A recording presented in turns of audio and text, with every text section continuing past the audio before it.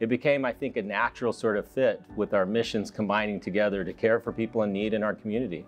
And so I think that's been a wonderful opportunity for us to get to know Valleywise Health, the physicians there, the leaders, and to work together to uh, care for the people in our community.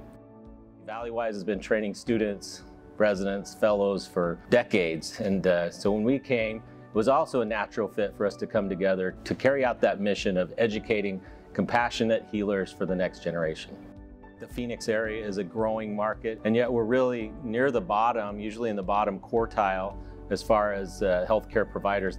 That is part of the mission here, is to uh, take care of the people in the area by providing these learners that can hopefully stay in the area, make their homes here, and take care of the, uh, the population.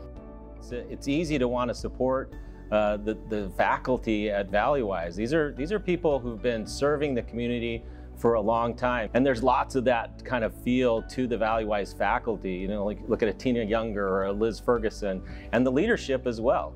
You know, Mike White and, and Kote Chundu have, have led that team of selfless sort of servants in the area for, for many years. And so it's easy to want to be part of this.